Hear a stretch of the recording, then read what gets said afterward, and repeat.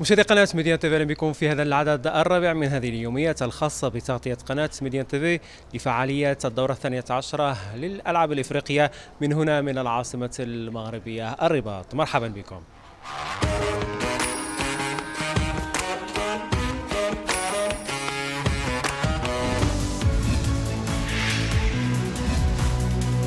إذا البداية مشاهدينا ستكون بالتعرف على آخر النتائج المسجلة في مختلف المسابقات خلال الساعات الماضية في موقعي الرباط والدار البيضاء. لنشاهد.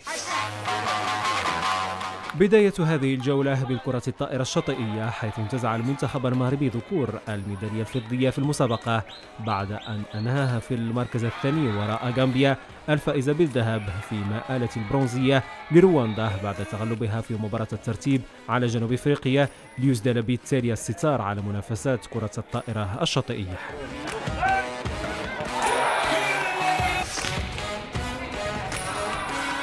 على صعيد آخر انطلقت الخميس أولى مباريات الدور الأول لكرة الطائرة داخل القاعة حيث كانت البداية بمباريات السيدات علما أن المنافسة ستستمر حتى اليوم الأخير من الألعاب.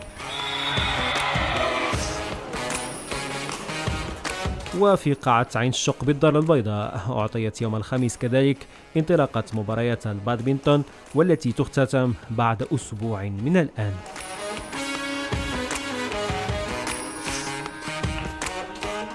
ودائما بالدار البيضاء لكن في منافسات السنوكر التي تتواصل حتى يوم السبت وتتواصل معها سيطرة اللاعبين المغاربة والمصريين.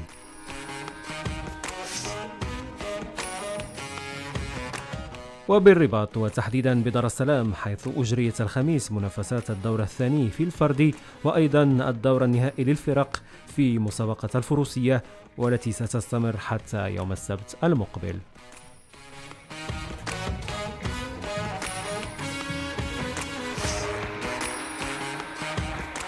وبقاعة مولاي الحسن بالرباط دائما تستمر ولليوم الثالث منافسات تنس الطاولة على أن تقام المباريات النهائية للفرق يوم الجمعة قبل الدخول بعد ذلك لمنافسات الفرد ذكورا وسيدات.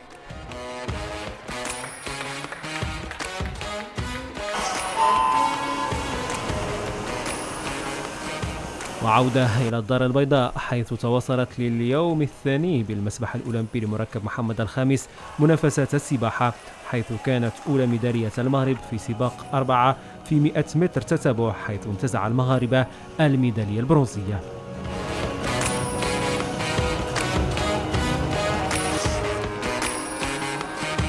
أما في الرياضات الجماعية فحقق المنتخب المغربي لكرة اليد ذكور نتيجة الفوز على غينيا وهو الفوز الثاني بعد الانتصار في اللقاء الأول على المنتخب الزامبي.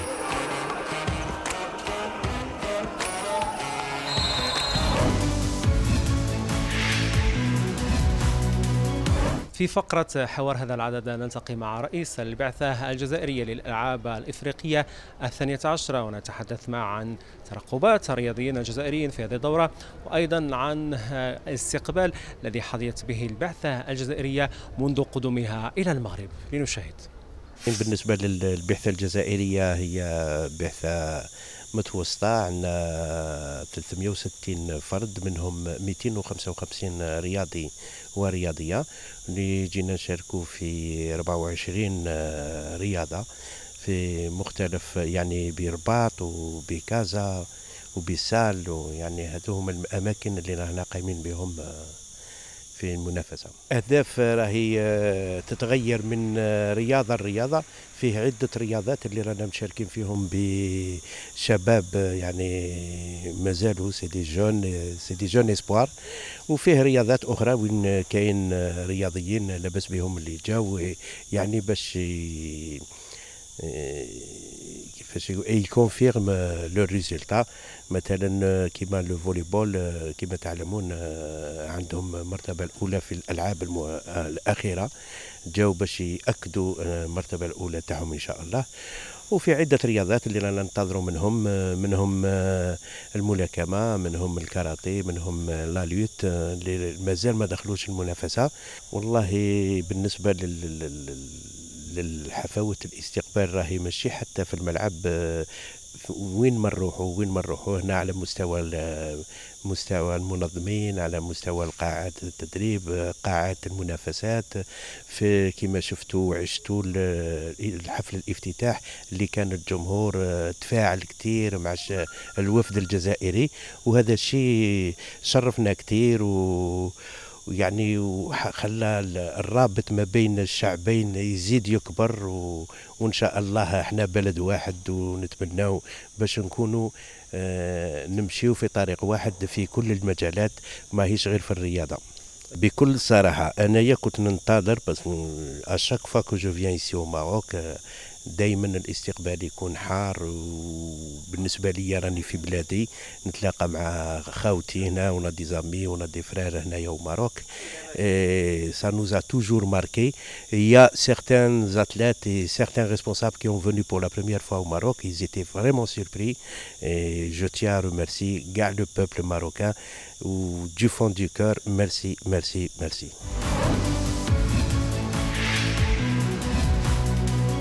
في تقرير التالي مشاهدينا نتعرف على كيفية جمع النتائج من مختلف مواقع التنافس وكيف يحرص المنظمون على تحيين هذه النتائج وإدخالها في الموقع الرسمي للألعاب الإفريقية كي تكون جاهزة للجمهور المتتبع لهذه الدورة. في هذا المركز يسهر فريق متخصص على نقل نتائج النسخة الثانية عشرة للألعاب الإفريقية لحظة بلحظة حيث تشرف شركة دولية متخصصة في تنظيم الملتقيات الرياضية الدولية على تجميع المعطيات من مختلف مواقع التباري. هذه الشركة كتقوم بتغطية ديال جميع المنافسات ووضع أكثر من 63 شخص في مختلف مواقع المباريات اللي كتقوم بتجميع النتائج وكترسلها لمركز القيادة هنا. فين كيتم يعني تجميعها وكذلك يعني تنظيمها ووضعها في الموقع الإلكتروني للألعاب الأفريقية. بعد تلقي النتائج التي يسهر على تجميعها 63 مختصا من مواقع المباريات يتم تنظيمها ووضعها في الموقع الإلكتروني لتكون في متناول متابعي الدورة الثانية عشرة للألعاب الإفريقية. الأشخاص الموجودين بالمواقع مواقع الألعاب كياخذوا النتائج بعد ما كيكون صدقت عليها الكونفدرالية الإفريقية للعبة ويتم بعثها للجنة القيادة بمركز بمقر اللجنة المنظمة وتتم التجميع ديالها والتحليل ديالها وكذلك وضعها في الموقع الإلكتروني للألعاب الإفريقية. ويوفر الموقع الإلكتروني للألعاب كافة المعطيات الخاصة بالمشاركين 6396 إضافة إلى جدول ترتيب الميداليات حسب البلدان.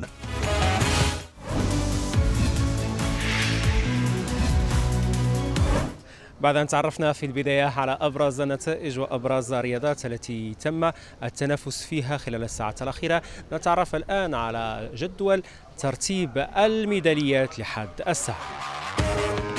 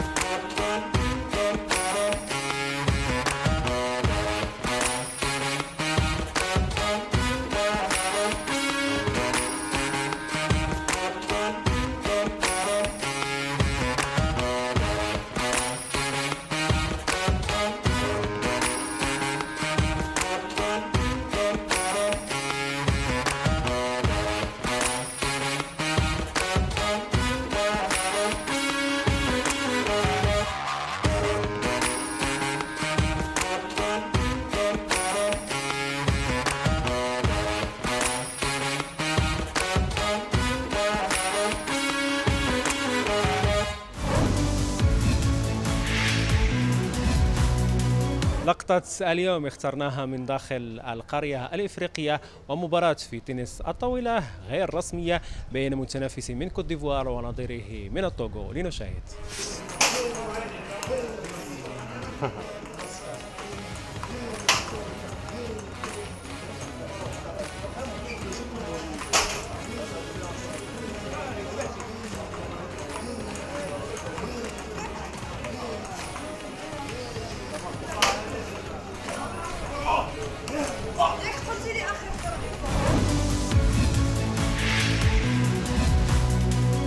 بهذا إذن مشاهدينا نصل لنهاية هذا العدد الخاص بتغطية قناة ميديا تيفي للدورة الثانية عشرة للألعاب الإفريقية. على أمل لقائكم مجددا في عدد يوم غد. إلى اللقاء.